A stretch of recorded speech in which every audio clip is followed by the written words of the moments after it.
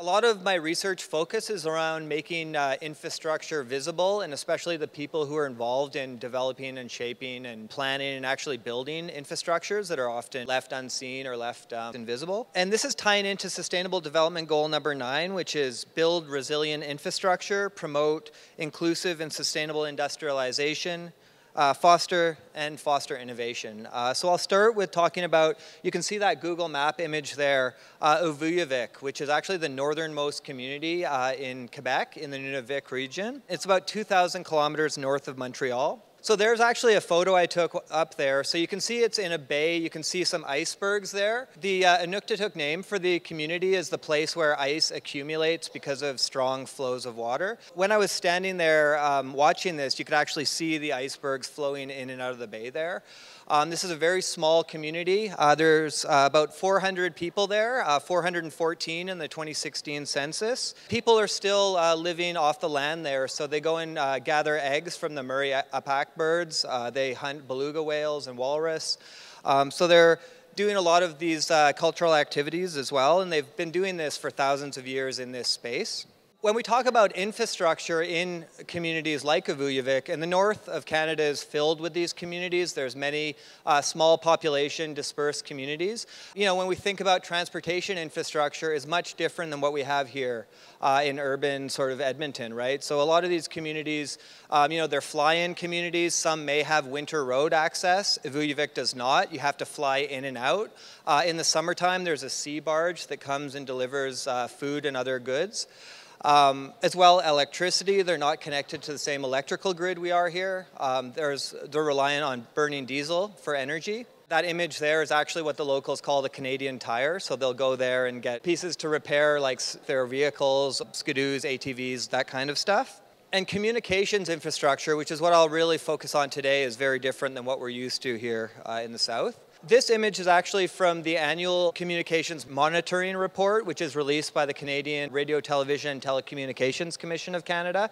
That's the big regulatory body that takes a look at uh, what communication services are available to people in Canada. And you can see there that there's a big kind of hole, there's a gap there in the three northern territories. People there cannot access what's now the new standard for connectivity of 50 megabytes per second down and 10 up with unlimited data plans. That's not actually available there there, according to uh, recent statistics. How about affordability?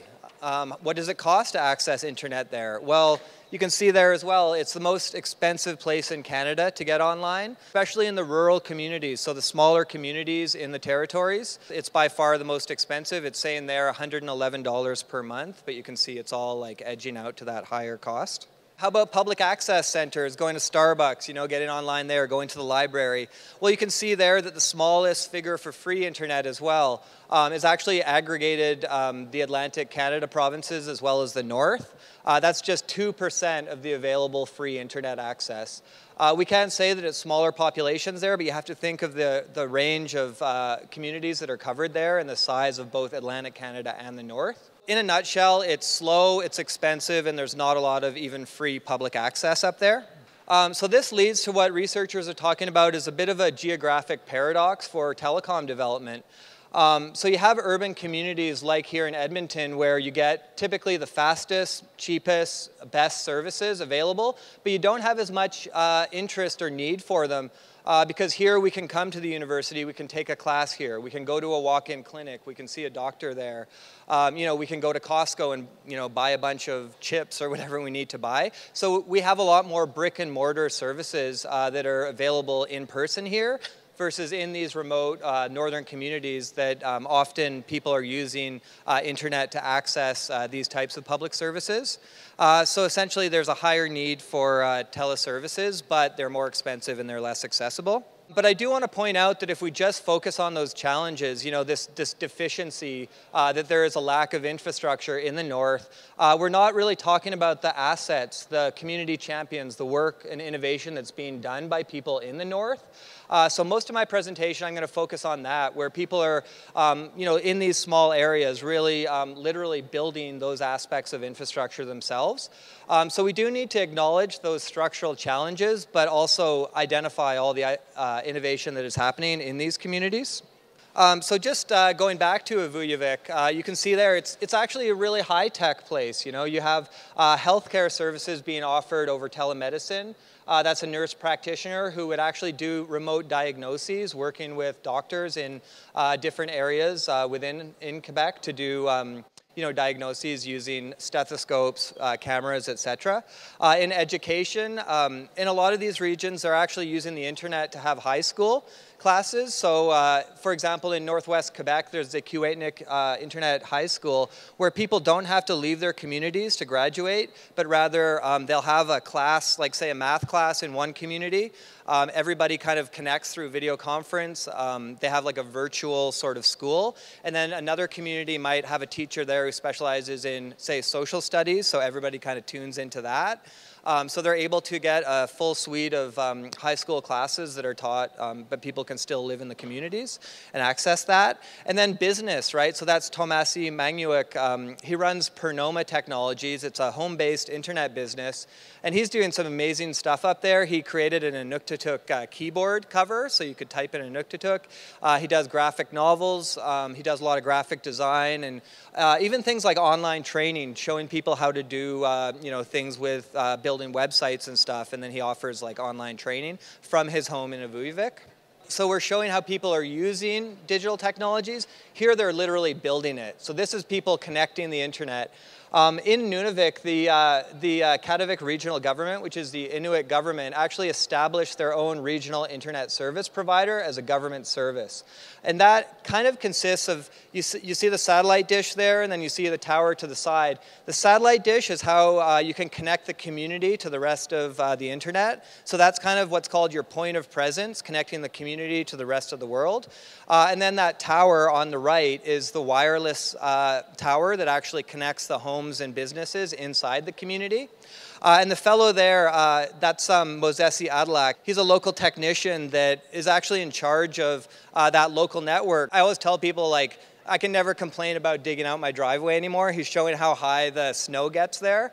Uh, and that's the shed that, it, that has a lot of the equipment. So he digs that out. He does like a lot of the repair services, like that kind of stuff. He helps sign up customers and he helps support that nonprofit internet service provider in his community. This kind of thing is also happening in other territories. So this is actually an image of the Northwest Territories.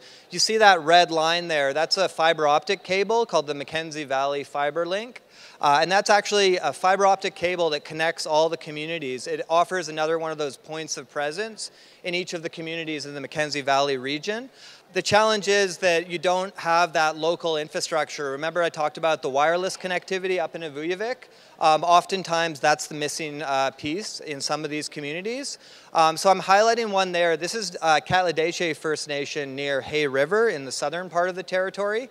And you can see there, they're uh, actually trenching fiber optic cables themselves. So Lyle Fabian, who's a, a technology entrepreneur who lives up there, uh, put together a project where they actually uh, dug up and laid fiber optic cables, connected the uh, local public services, and then had Wi-Fi connections into people's homes.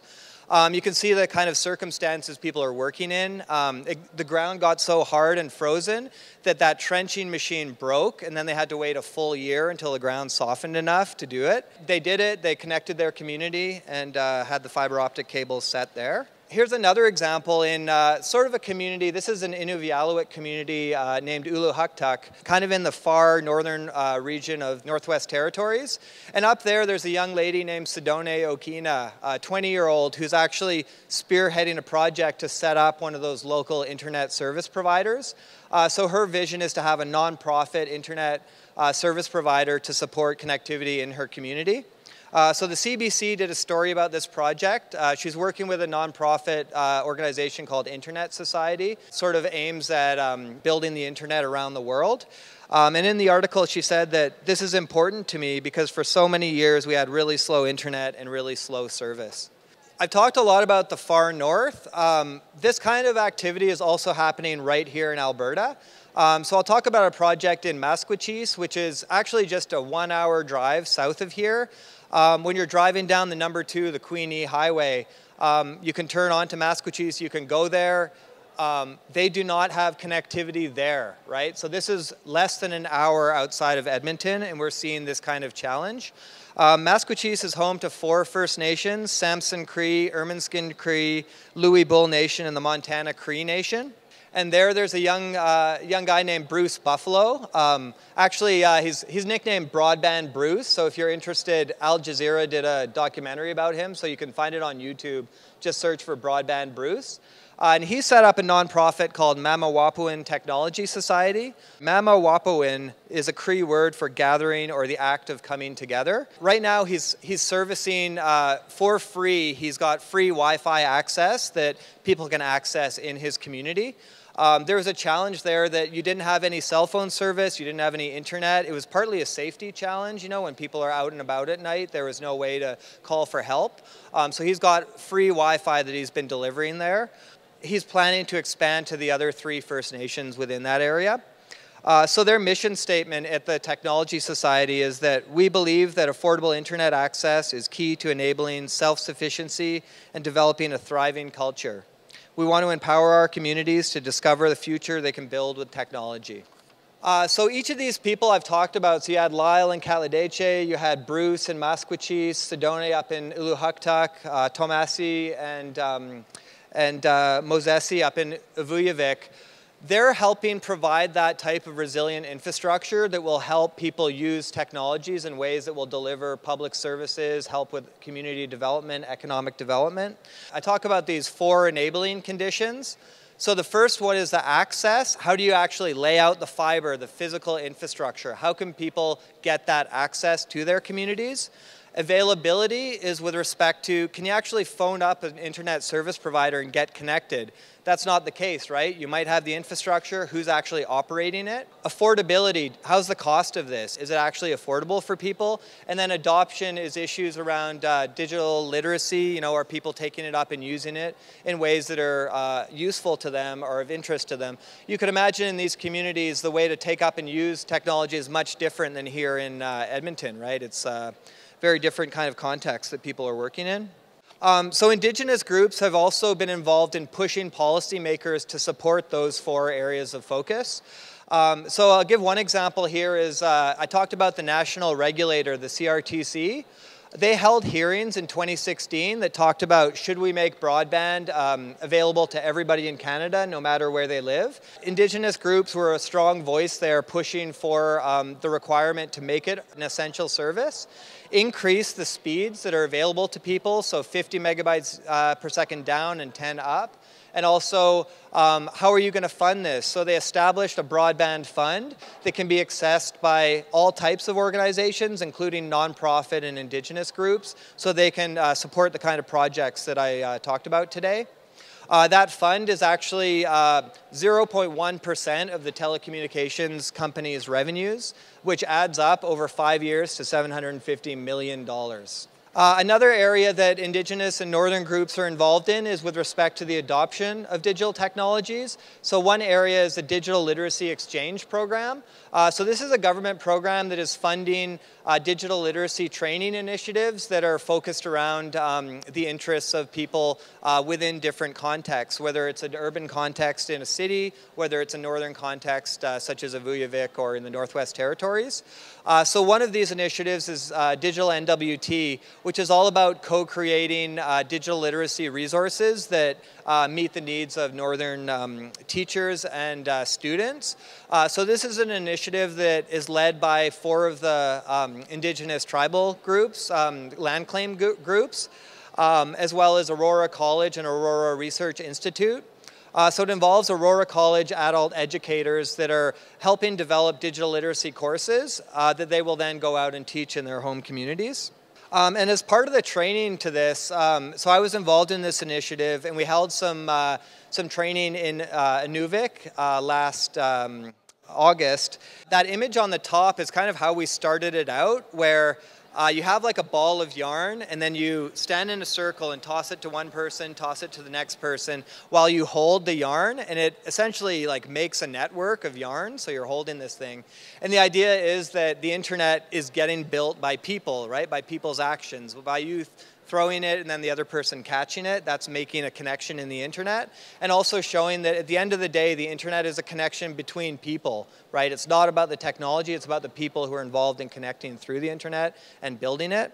Uh, and then another activity was going through the process of uh, creating digital stories about how people um, think about technology within their uh, daily lives.